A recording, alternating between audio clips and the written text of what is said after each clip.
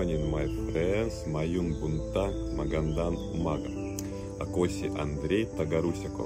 And now I live in Philippines for four months and want to stay to live here as much as possible. Okay, guys.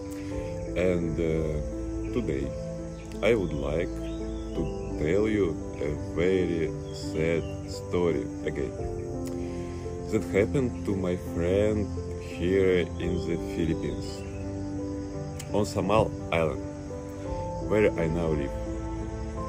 His name was Robert and he was from Australia. I first met him 10 years ago during my first visit to the Philippines. He was 65 years old, but he looked 40. He was a famous doctor, chiropractor. He conducts trainings and seminars. He flew here to eat durians because it was his favorite fruit. He could only eat durians because for the last 30 years he has been eating only fruits.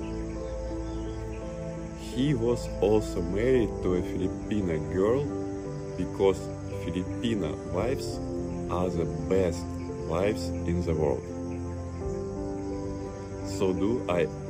So do I and many of my Russian friends. But now it's not about that. Robert really liked living in the Philippines.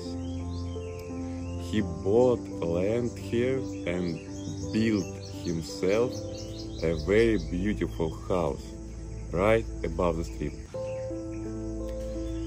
We recently went camping and went to look at his house. Nobody lives there now, so it is slowly being destroyed.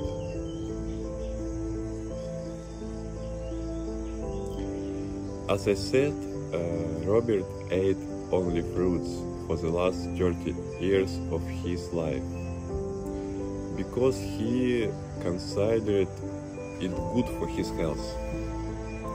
He also believed that a person should not drink water because he can get all the water from fruits.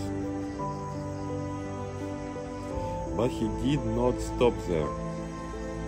For the last 10 years of his life, he became interested in fasting. And more and more often he arranged days without food and water, the so-called dry fasting.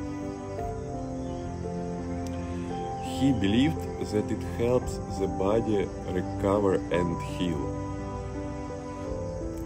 However, he lost a lot of weight, even brought himself to exhaustion, which also greatly weakened his immunity.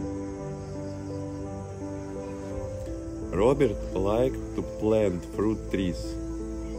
He had his own durian farm in Australia. But all the durians there died from some kind of disease. So Robert decided to grow fruits here in the Philippines. He planted over 100 fruit trees here and waited for them to bear fruits so he could enjoy the delicious fruits. But he did not wait because in 2019 he died from some kind of infection, which he contacted while working in the ground, planting his plants. He had a weakened immune system by starvation, weak kindness that failed due to an infection, and he soon died in the hospital. You know, guys, uh, there is some kind of infection in the ground, and if you work in the ground, then you can easily catch it. No one is immune from this. If you have a strong immune system, then it will defeat this infection. But if your body is weakened by starvation or poor nutrition, then you risk dying. I feel sorry for Robert. If he ate well, he would still be alive and well today. And so he left a Filipino wife here and relatives in Australia. Robert was a very good person, cheerful and open. I also love fruits, and for three weeks now I have been eating only fruits. I have lost maybe 15 kilograms because when I came here I was overweight. But soon I plan to eat normally again so as not to lose much weight and not weaken. Okay guys, thank you for watching this sad story.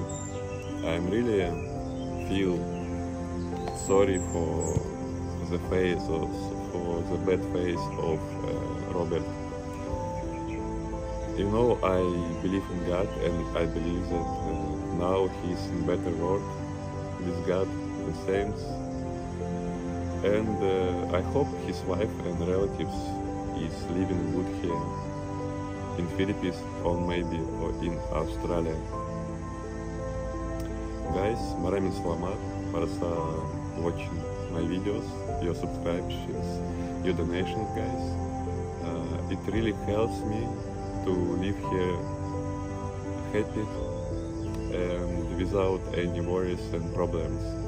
Guys, uh, Slamat for your comments. Uh, it really gave me a lot of energy to do more videos guys for you thank you i love you guys i love you and in god bye bye